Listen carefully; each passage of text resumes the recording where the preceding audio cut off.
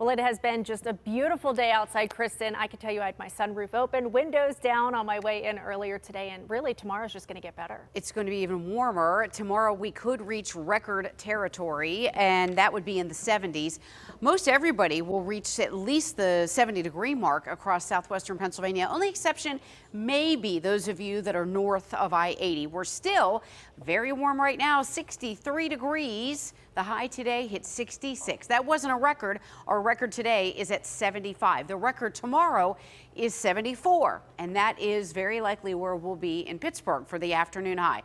Nowhere near normal. Our normal highs are only in the 40s, so we were almost 20 to 25 degrees above normal for the highs across the area today. Here you see the current numbers still at 64 in Washington.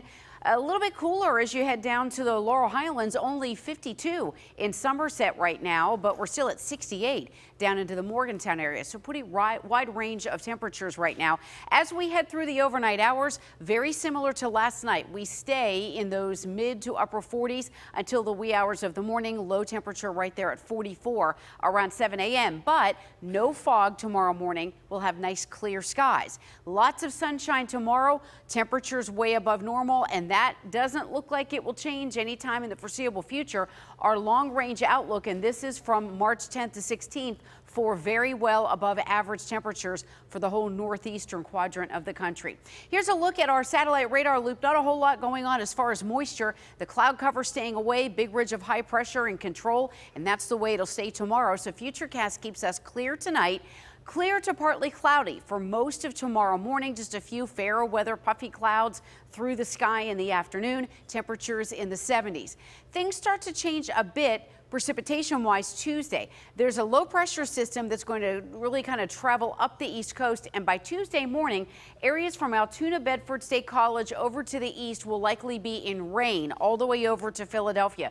We stay dry. It'll be an approaching trough of low pressure from the west that's going to give us a chance for a few showers by really Tuesday afternoon, maybe a couple of sprinkles. More likely it'll be after dinner and into Tuesday night that we get a little round of a couple of showers. Wednesday we start off dry, but that system that's off to the east is going to kind of come back to haunt us. And here comes the rain pushing from east to west across our area for Wednesday afternoon. So tonight, 44 clear skies, beautiful. Tomorrow, more sunshine. I'm forecasting 73 degrees. The record high is 74.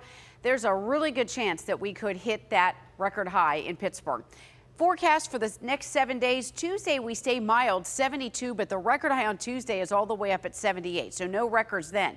An afternoon or evening shower more likely, and then Wednesday, we have scattered showers that'll become a steadier rain through the afternoon. With that cooler air, temperatures in the upper 50s.